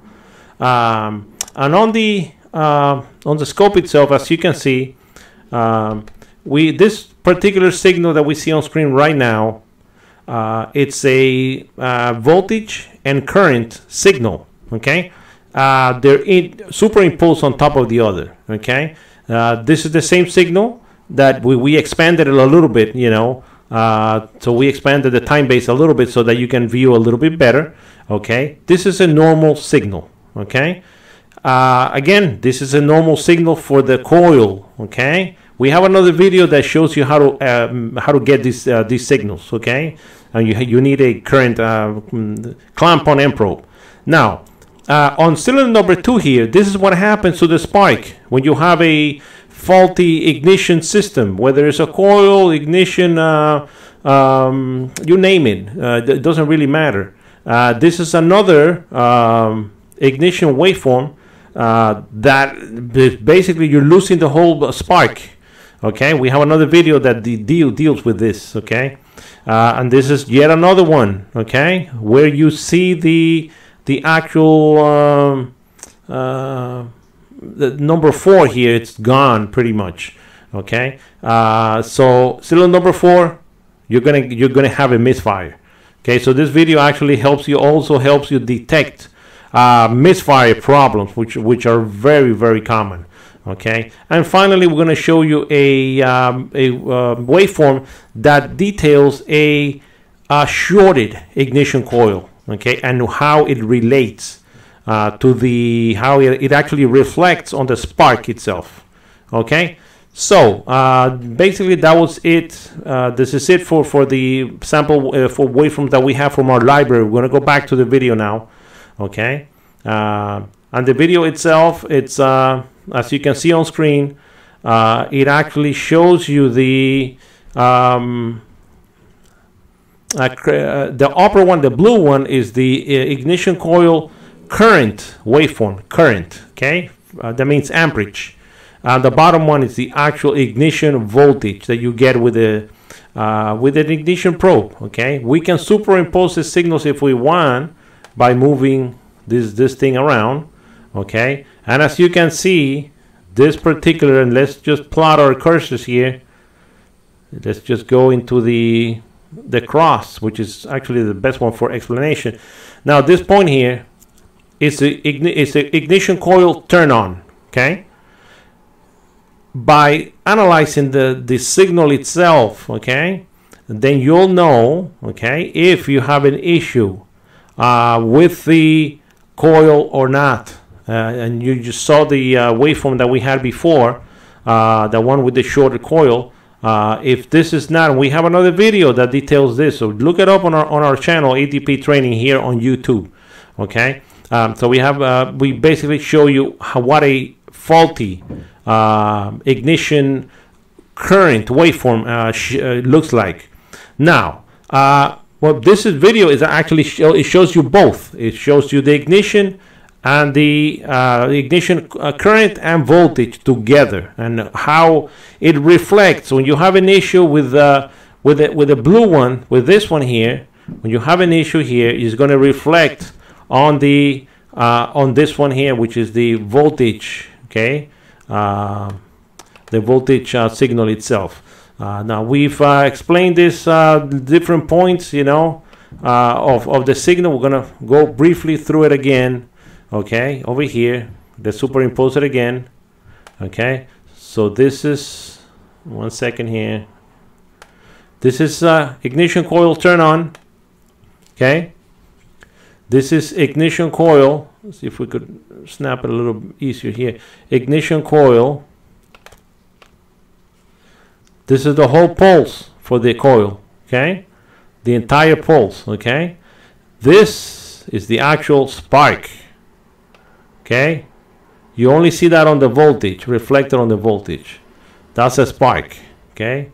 So let's separate these guys now so that you can see it. So this is the spark actually this this side here is the spark okay down here okay that's a spark okay that is the one that suffers when you have issues over here. Now this is reflected in the current and actually it happens in the current and is reflected right here because this is a turn off point okay?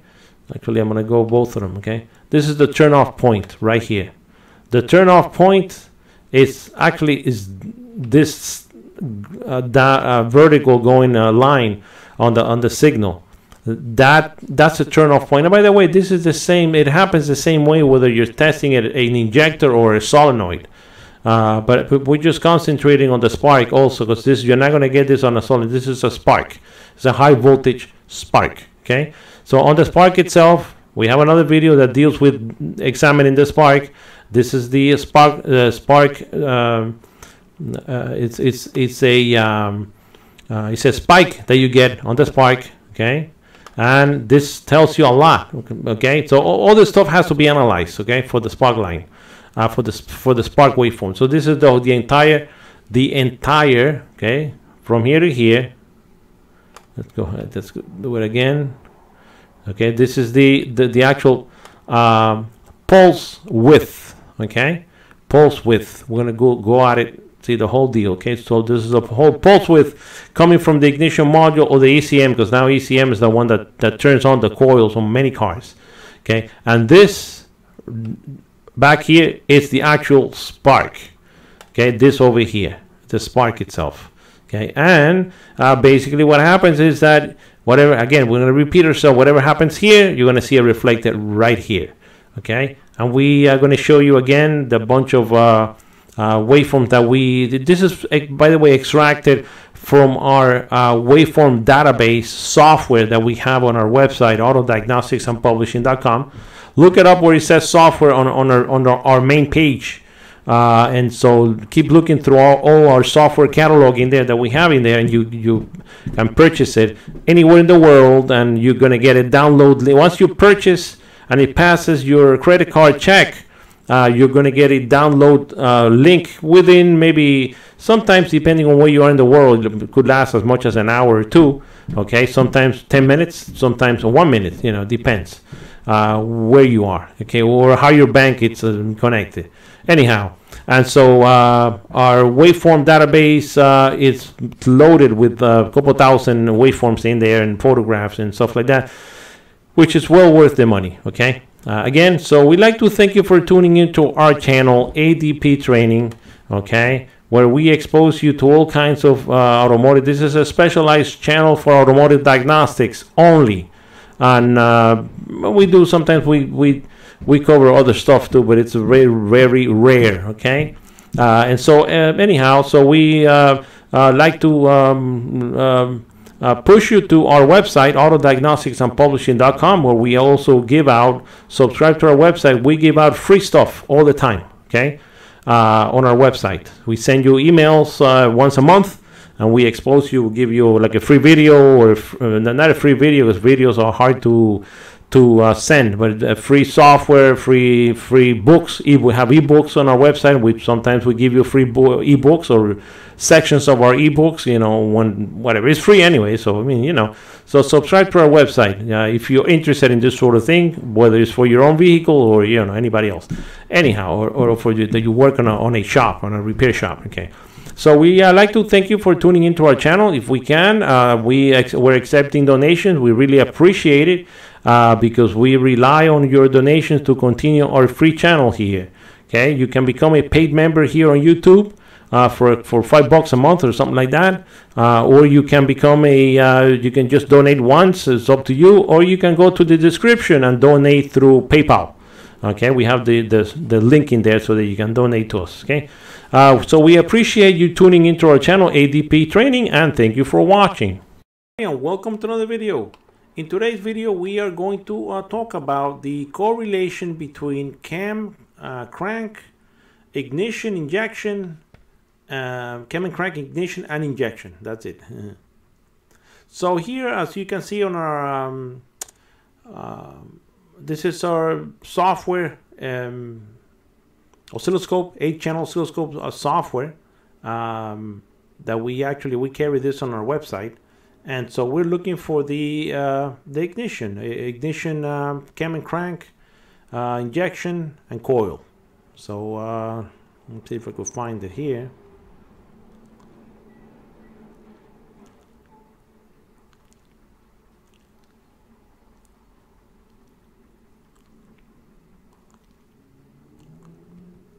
Here you go. So let's let's turn off all the the actual lines. So this is the this is actually the um, injection, the cam, and the ignition. Okay.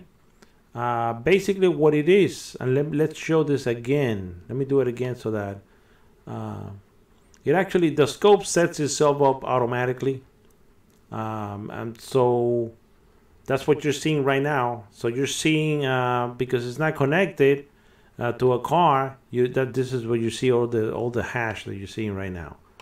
Uh, and so um, what we're gonna do, let's just turn off one of these channels. There you go. Uh, so basically, we have uh, we have the sample signals on the top. Okay, and let's turn this off because this is there you go. So these are the sample signals that the uh, ignition, uh, for sake of explaining the analysis of the waveforms, uh, this, this is, these are the uh, signals uh, that um, the scope software has as a sample. They have sample signals. now, um, on screen, let's see if we could just plot the the actual signals again.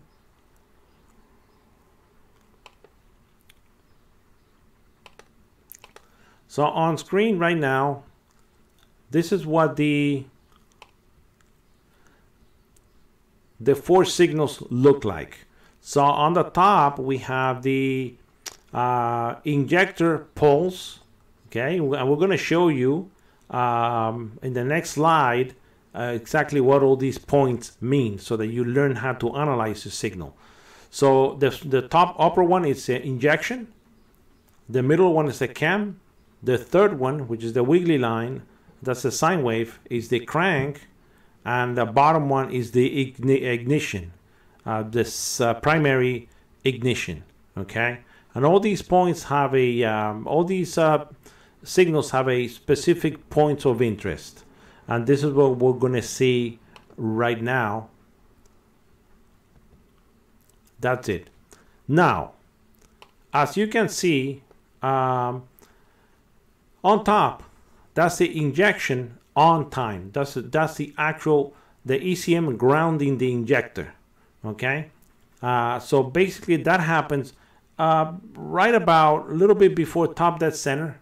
If you can um, uh, look on the, the third uh, signal it says crank number one TDC top dead center. That's the exact top dead center point and it correlates with the cam. Each cam and crank as you probably know has a different correlation uh, but that's not the purpose of this video. The purpose of this video is to show you the correlation between all the three, the four signals. Okay, um, so as you can see, the top one is the injector turning on, uh, followed by the by the cam, and the cam has a little notch in there, uh, which is a little shorter notch. That signifies the cam, the the cylinder on compression. Uh, for for every two um, you got to understand for every uh, two revolution of the cam, the crank turns once. Okay, so you could have this the the the the cylinder on TDC, on compression or on exhaust. That's very important to understand. Uh, now the crank sensor is the third signal. Uh, that you can see that's the number one top dead center. Uh, and that has to correlate with a little notch on the cam. That way the computer knows, the ECM knows that the cylinder is on compression and on compression is when it's going to detonate, it's going to give you injection and it's going to give you ignition. Now understand one thing that this particular uh, injection here, that what it says the injector turn on time, uh, sometimes it happens way before or way after the TDC, depending on the vehicle. Okay, some of the newer uh, Miller cycle engines, uh, they actually rely on that. So it actually triggers the injector later.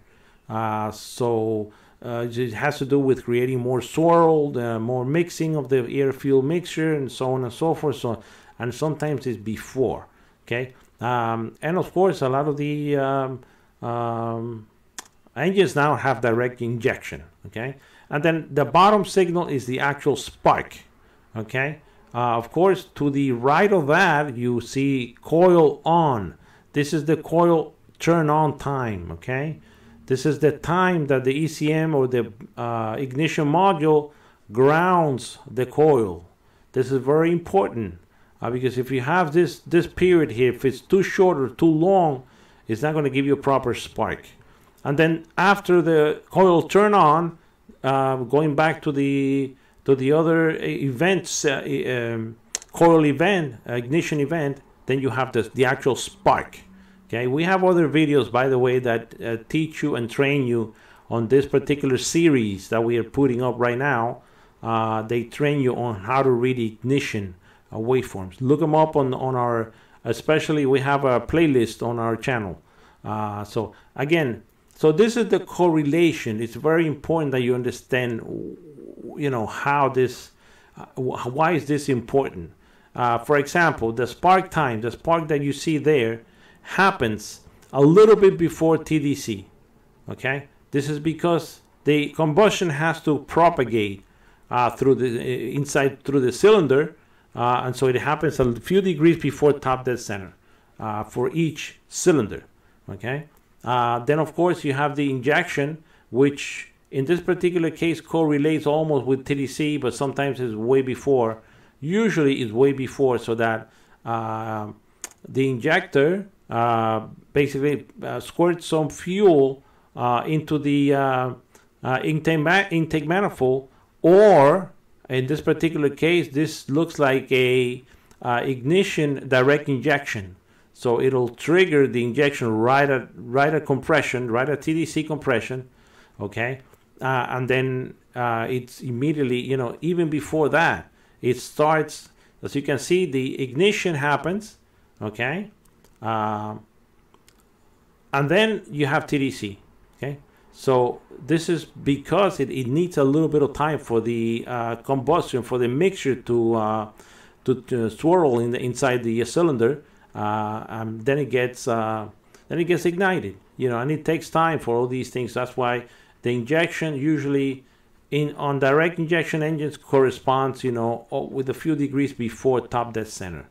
Okay, uh, so it's it's just and as you can see also the coil on time, uh, it's happening. Uh, this particular coil, the reason why you have a, a, another coil event uh, turn on is because you're also triggering.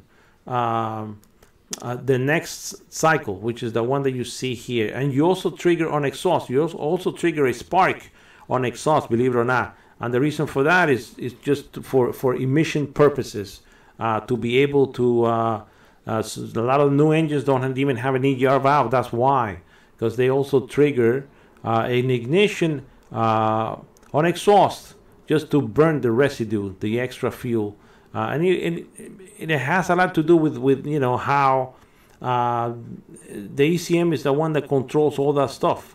Because sometimes you do want, like when the engine is cold, you want to create uh, a, a rich mixture to heat up the catalytic converter and, and all these things. So it, there's a lot behind the actual programming that the engine uh, has to um, employ uh, to be able to, uh, um, you know, to, to, to operate the engine properly. And so uh, basically, we just want to sh- uh, just wanted to show you a four signal analysis of uh, uh, uh injection, which is on the top, uh, cam, crank, and ignition, which is on the bottom.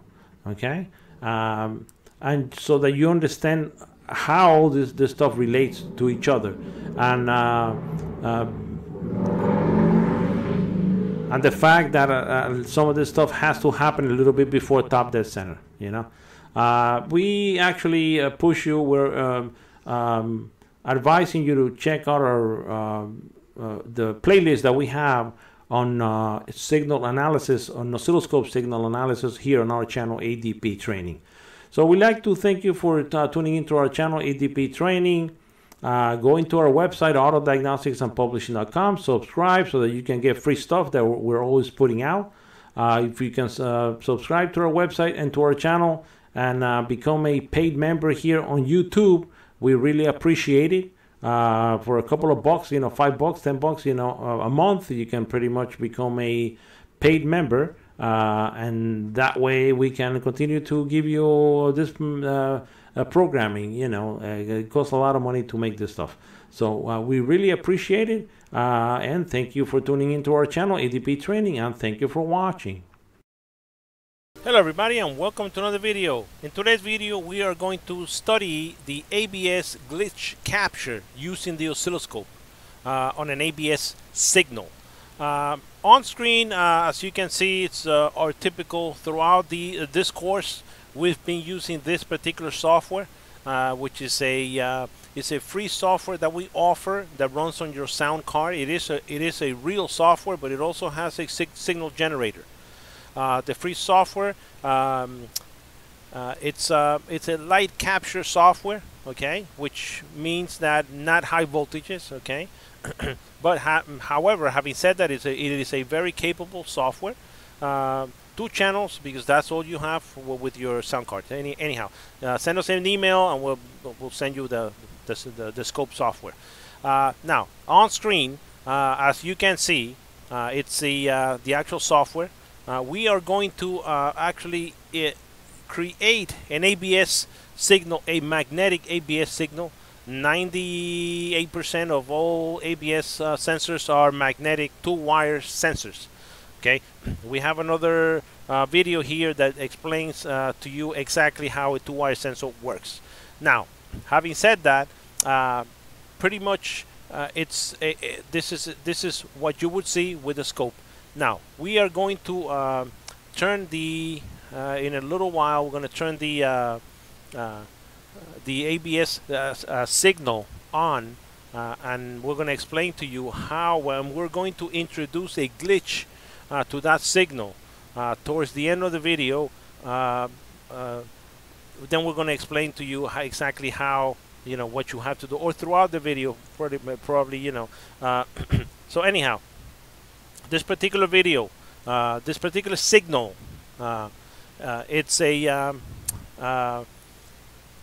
this is what you would see and understand one thing that uh, the amplitude and this is the signal. This is what it looks like. This is a sine wave signal from the from an actual ABS sensor.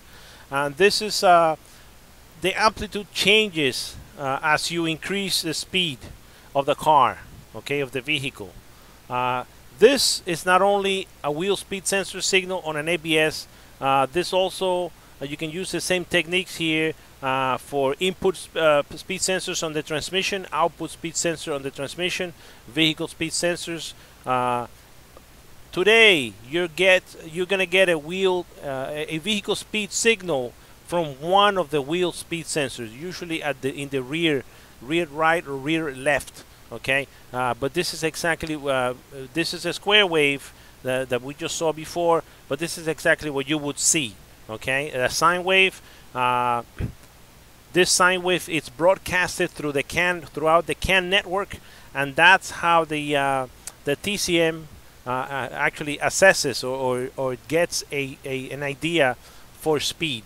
Okay, uh, so the wheel speed sensor uh, is usually connected to the ABS computer because it's a uh, they're wheel speed sensors. Okay, and then the ABS computer transfers that signal via the or via, whatever however you want to say it, the uh, uh, the network, the CAN network, uh, to the uh, transmission computer. Okay.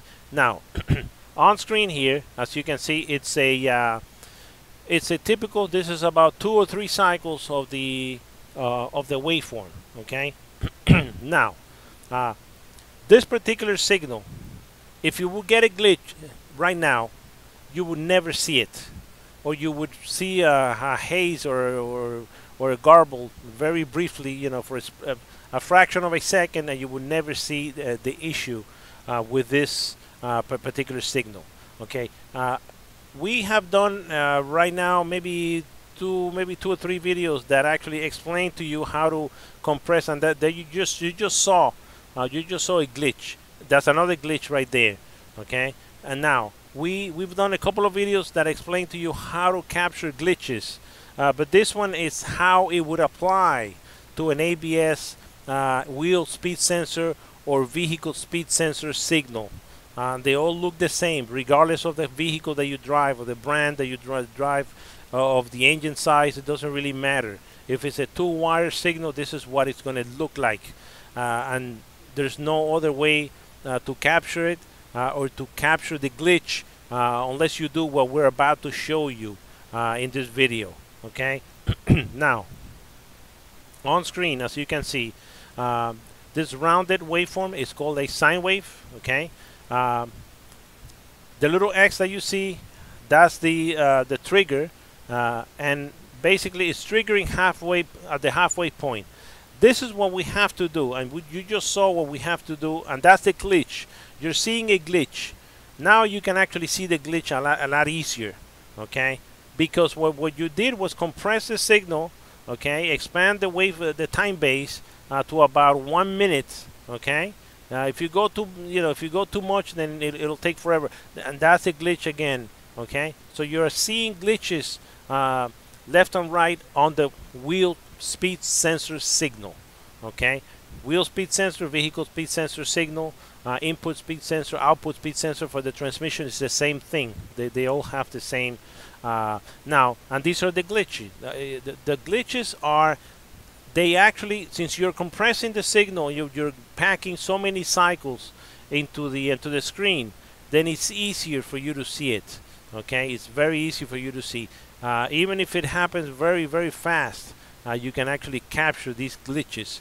Uh, the glitches are usually it, it, drops the signal down to ground, uh, so that's pretty much what you're seeing right now. Okay, and it, they look, you know, you you would never see a glitch like that uh, if you're just looking at, at, at each cycle. That that was a very short uh, glitch. That's a very short glitch right there.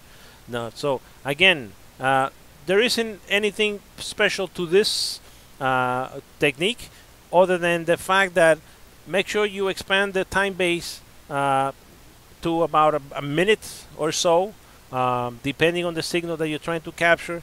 Okay, and also make sure that your amplitude is right. Don't go. You could go a little higher than this if you want, uh, but basically, you know, make sure you you're seeing the whole waveform, the whole cycle in front of you. Okay, and that's uh, basically, you know, the best way uh, to to assess any glitches uh, on the uh, on, on, the wheel speed sensor uh, signals. now, we'd like to thank you for tuning into our channel, ADP Training. Okay, and and again we're going we're, we're still going to show you you know the same technique here over and over again so that you actually understand it. Uh, so anyhow, so subscribe to our website autodiagnosticsandpublishing.com. Uh, it'll you'll see the email address in there. Uh, it is sales at autodiagnosticsandpublishing.com. No big deal. Uh, you can do a Google search for automotive diagnostics and publishing. Uh, we are always giving out free stuff like this software, for example, that you see in front of you, uh, which is used by many, many schools uh, throughout the country and in many uh, European and as far also in Australia and so on and so forth. They use it in, in class for training. anyhow, so it's free to you. just request it. Uh, and that's about it okay? Um, uh, on our channel you can actually subscribe to our, our, channel of course. I hope you do or you did already. Uh, you can donate if you want if you think that this uh, content is uh, useful to you. Uh, and basically you know we we do everything automotive. Everything we do we, we make it we manufacture it in-house made in the US and so you know it's and we try to keep the channel free again uh, for the foreseeable future. Okay, um, so you know uh, any any little bit, whatever you can we can you can uh, uh help out helps out. Okay, and of course uh, post comments if you can uh, on any of our videos. we're always getting comments here and there. so we'd like to thank you again for tuning into our channel ADP Training. This was a very it was a remake of the video that we actually came out with a bad audio. So we actually tweaked it uh, to, uh, so, so, you know, so so that it sounds better. Uh, we didn't know what happened, so anyhow, we we deleted it and we posted it again. Anyhow, thank you for watching and tuning into our channel. Thank you. Hello, everybody, and welcome to another video. Uh, in this video, we are going to talk about the TPS signal glitch blind spot capture. Um, on screen now you can see, and this is a, we're going to do a very basic explanation. This is a uh, TPS, typical TPS nowadays found on electronic throttle bodies. Uh, uh, on the TPS itself, you have the contacts for the motor, which is the one that moves the uh, uh, that, that moves the uh, the throttle, and these are the TPS tracks. That's how they're called. This is a dual TPS, but it's it's the testing is the same. These tracks develop blind spots, okay? There's no other way to put it. Now, on screen, uh, we, are going to show you what we did was pretty much uh, we took a bunch of captures, you know, from the uh, uh using our electronic throttle body controller. So we, we took these captures and we recorded them on the on the on the oscilloscope, which we're going to show you next. Uh, of, of how to go about uh, because once you have the, uh, the the capture, which is a recording, then we can actually uh, we can adjust the controls, and the, the signal is already there. Uh, we're just pretty much all, we have to do is adjust the controls to be able uh, be able to uh, capture or show uh, the oscilloscope. And we we did that with a bunch of different throttle bodies or TPSs, and some good, some bad. And here we go. Okay, so again, we're going to use the uh, the scope that we've been using from the beginning uh, to do the uh, this uh, the, the course. This is a oscilloscope course. Now, we're going to show you how to do. uh, the first thing you're going to do is you're going to connect the scope to the signal wire. Okay, and this is what you're going to see. All right. Uh, in this particular case, uh, you're going to see the signal go up and down. That's all you're going to see unless you adjust the settings. Okay, so basically you would have to uh, uh, adjust the amplitude, like always. Okay, and the frequency, which is the time base for the scope or any scope. Okay, so this applies to uh, you name it. There's one thing that we're going to show you, and this is uh, coming up. We're going to show you uh, towards the middle of the video uh, in a couple of um, probably a minute or two. You're going to see it we're going to show you how to set the the uh, the, the trigger okay uh, right now it's on free triggering okay so it's this is automatic triggering free triggering however you, you want to call it you want to set it to single single shot or single trigger on any scope that's usually how they word it out they it's single it's called single okay? Now when you set the scope to single trigger uh, basically you're going to be able to you're going to capture and this is how you if you look at it this is how you set it okay? Uh, you got off auto or normal or single okay? So single shot you're just going to capture the waveform and the, the scope is going to wait for the signal and you're going to see that coming up right now okay? That's how we set it okay on this on this particular scope on every other scope it's the same thing just look up the, your trigger options and you're going to see it okay and right now the scope is waiting, okay? And this is what, what it captured, okay? Which is pretty similar to what you were seeing before, but then you have to mess around with the time base, and now this is what you see, okay? When you set it to single shot, you see a perfect, this is a perfect uh, uh, throttle position sensor, okay? A perfect, and this you have to do with the dual, nowadays you have dual TPSs, and this is what you're gonna see, okay? Uh, we're gonna see a bunch of different ones. So this is another good one, okay? And we're, basically, we're showing you one after the other, uh, good ones and bad ones, and I'll tell you where the, where the bad, bad ones are. Uh, and so the scope waits for you, okay? This is doing it. The scope is doing this automatically, okay? When you set it to single shot, okay? It waits for you, and that's. I'll show you what a bad TPS uh, signal looks like. And this you can do very slow, very fast, however you want to do it okay, on the scope, all right? And it, that's what it does. It, it points out to blind spots. Not yet. You haven't seen a blind spot yet. Okay, if you keep looking at it, uh, we have one of the one of these captures that we did of a bad scope. I don't I don't remember if it's uh, towards the end or, but you're gonna see it soon. Uh, and basically, what you're seeing is the uh, uh, the potentiometer going up and down, up and down. This is another good one okay? And it waits for you for you to do the, the, the for you to for you to goose the throttle. So you're going to go you're going to connect it you're going to goose the throttle you're going on the, on the accelerator because you can't touch it with your fingers. So you're going to go to the accelerator you're going to goose the throttle you know op- open and close and you're going to see that that's what you're going to see that's that's how it has to look like okay now uh, I'm waiting for the bad signal so that you can see what it looks like. This is another good signal again and again. So uh, basically, what you're doing now it's make you're you're testing two things now. You're testing the upper voltage, making sure that the ECM is providing the five volt reference that it always gives you on the ground. Okay, this is another good good uh, signal right now, uh, and so it, it's all you're doing is it, you're trying to capture something else other than what you just saw. Okay? And in that particular, in, in, in cases like that, okay, you're going to see, I think this is coming up, the, the bad signal is coming up right now. and that's that's a blind spot, almost in the towards the middle of of the. Uh, not the downward line. That's just because we disconnected it. So towards the middle, that's a blind spot. Okay. Now this is, I think, this is another blind spot that we have on the recording. This is another blind spot right in the middle. That's a blind spot. You're not supposed to see that. Has you're supposed to see a slanted line, nicely slanted, going down. Okay. Because you accept that's another blind spot almost towards the end. Okay. That's not good.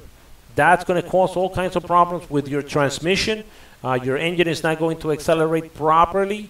Okay, I think we left all the blind spots, you know, towards the end of the video. And so basically, that's another blind spot right there. So we took a bunch of different captures, you know. They all look the same, but that's because all signals look the same pretty much. Okay, and so uh, another blind spot in there. Okay, and so basically, what you're looking for is something other than the, a smooth slanted line going downwards. And usually they show up on the downside. In other words, you, when you accelerate and you let go of the throttle, sometime, somehow, I don't know why, did, look at that one, that's, that's even worse, you know. So these are a bunch of bad uh, throttle position sensors that we uh, were able to capture and then show you uh, what a signal, a throttle, a faulty throttle position sensor looks like and how to do it. And the secret of it is to set your trigger into, into a single mode, single shot. Okay, so it waits for you. Right now, the scope is waiting for you. Okay, and, in all these tests, is waiting for you uh, for you to goose the throttle, step on the accelerator, uh, uh, and let go. That's another blind spot right there. But you don't have to do anything. All you got to do is connect it and just set it to single, and that's it. We'd like to thank you for tuning into our uh, to our videos, uh, ADP Training, uh, our channel on YouTube. It's ADP Training. We have a website, Automotive Diagnostics and Publishing. That's your Google search or autodiagnosticsandpublishing.com. Um, you can uh, request a copy of this software for training purposes, and it, it's also a mild uh, low voltage uh, signals that you can actually use it for. Okay, nothing high voltage. Okay, and at sales at autodiagnosticsandpublishing.com. Uh, feel free to uh, subscribe to our channel if you like it. Our website, we're always giving out free stuff, you know. And uh, so, anyhow, uh, thank you for tuning into our channel and thank you for watching. This channel is for do it yourselfers, as well as professional auto repair technicians. We present all the content using the latest CG animation techniques, on-hands video, and how-to, tips and techniques. We encourage you to subscribe to this channel now. Once subscribed, anytime we upload a new automotive tip, secret, or technology video, you will be notified. Finally, by subscribing, you will also be part of our weekly freebies. Yes, we're constantly giving away lots of free merchandise. Automotive Diagnostics and Publishing's, Mandy Concepcion, the owner of this channel, is one of the most prolific auto technology authors on the web. At any moment in time, we may offer a free book, Kindle e-book, Android app, one of our own diagnostic equipment, or even auto repair software that runs on your PC. Subscribe now free of charge, learn lots of automotive technology secrets, and win free stuff. It doesn't get any better than that. Thanks for watching, and enjoy.